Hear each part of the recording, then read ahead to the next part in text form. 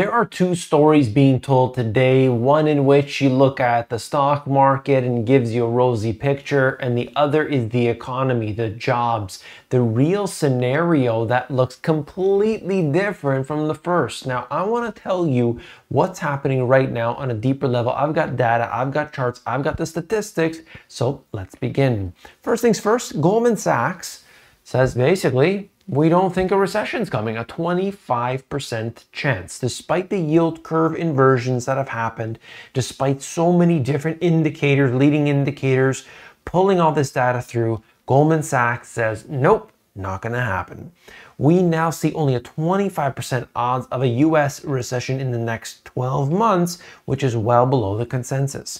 We will see what happens as a result of everything we've had to deal with, but essentially, the Federal Reserve is in the process of changing their tune, and Goldman Sachs has taken that and running with it. The Fed is all that matters to stock analysts ignoring earnings. Analysts slash earnings estimates raise stock price targets. Disconnect shows how much markets are focused on the Fed policy. And I've talked about this before, and I'm sure you're aware, but essentially that the Federal Reserve has increased interest rates by 0.25% or 25 basis points. The market was looking for that as the signal that this is the quote unquote pivot that they have been waiting for. Of course, they don't know how long interest rates will remain elevated, but the expectation, according to the markets, is that they will begin cutting interest rates in 2023. This is at odds. What is so unusual about this is that it's at odds with the soft landing, you know, remember the transitory inflation analysis that they were bringing to us before. So if they think there's going to be a soft landing, well, then why in the world would they need to cut interest rates? Those two things are at a disconnect. That's the unusual factor here. And I hope you agree with me on that.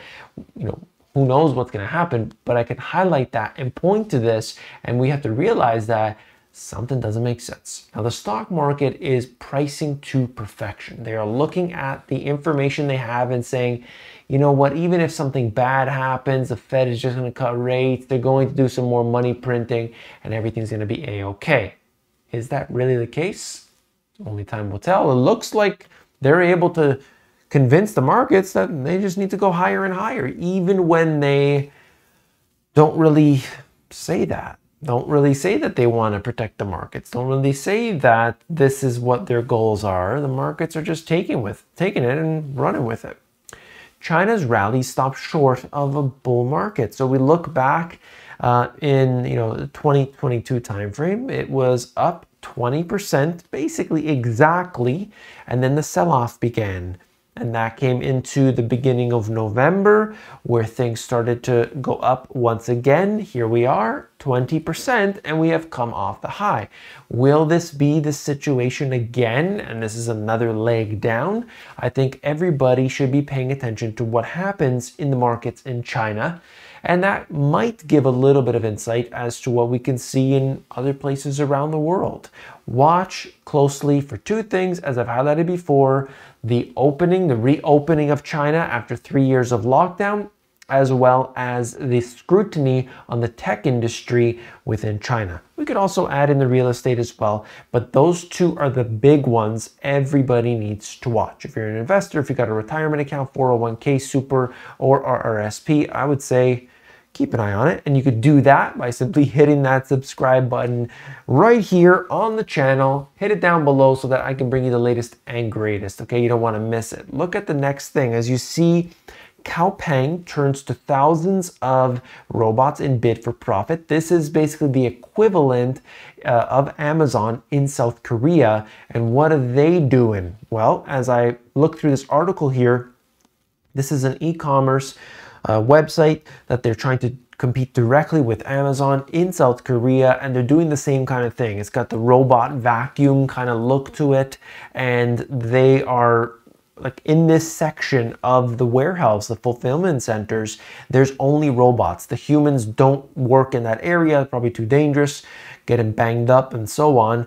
But essentially saying that we are going, we're putting all of our funding into robots, not into human capital. They're doing it into robots. And here you could see some of the robots that are in use as well, where uh, they get put on, like the packages get put onto these little robot things and they get handed over to a human.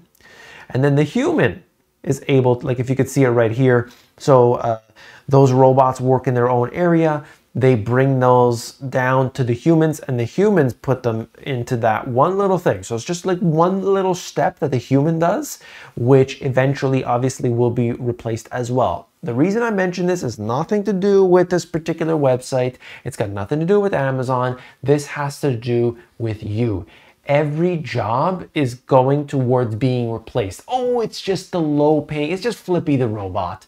No, it's not. This is happening right now with so many in the white collar jobs as well. Robo advisors being one that I point out all the time. Why would a robo advisor be advantageous to a human? Well, the humans don't beat the market. So what you can do is click a couple buttons on your screen or in your app and you say what you want as your goal and it's going to have all the history before it in it and it's going to be able to determine okay well if i do this this and this over a long period of time what is your timeline? Oh my timeline is 30 years. Okay over the last 30 years this is what had been attained.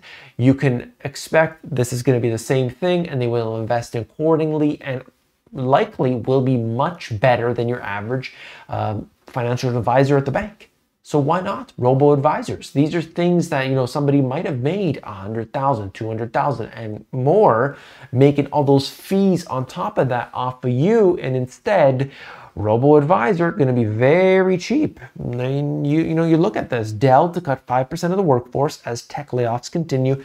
Just one more company to add to the list. Then you look at what's happening with the inflationary factors. Companies are feeling inflation. People are feeling inflation. This is big. This is this is what's happening today. And despite the fact that they've increased interest rates, they're already talking about reducing that. Isn't this crazy? Look at what's happening with with real estate. Look at what's happening with rent. Have energy prices really gone down? Some somewhat, but they're still really elevated from where they were just a little while ago. And wages haven't kept up. London's rental market is in crisis. They talk about this. They say they give a couple stories of uh, some examples. People, uh, landlords wanting to increase the price 27%. Another one they said 26%. Um, just going crazy really on the on the rental increases and they can't afford it so they have to move somewhere else in some cases it's better to buy i'm just showing you here that something so significant like rent food energy these things are extremely elevated and of course that's going to have an impact on the economy as a whole so watch carefully for that doesn't look like it's going down anytime soon, and many have spoken about this. And of course, I have highlighted here on the channel watch for the second wave of inflation. I watch very closely when I go to the supermarket, when I'm looking at all of the different prices of things to see what's gone up. And I look in the aisles, I, you know, I, I choose produce, but I also do look in the other aisles and I keep an eye on the prices of certain things just for my own sake. And then I ask people that I know about the different prices they pay for their same things as well, but also for services. I just have this curiosity and I keep that in my own mind because I think that's important. I think it's important to look at all these things for my own good, you know, my own needs and my own desires, but also I'm doing this for the channel as well because I want to be informed as possible to bring you that information. It's just something that, you know, a little anecdote that I wanted to share. Once flush savings accounts are starting to run dry. High prices and the end of the relief programs are eating into household savings, something that I've talked about you know, all, over and over again. But you're looking at this, Americans have spent down about 35% of the extra savings that they accumulated. Look, savings rate is down to what is it, two point something percent? I mean, it's extreme when you think about it because there's no way, absolutely no way, that people are going to be able to pay off their debt.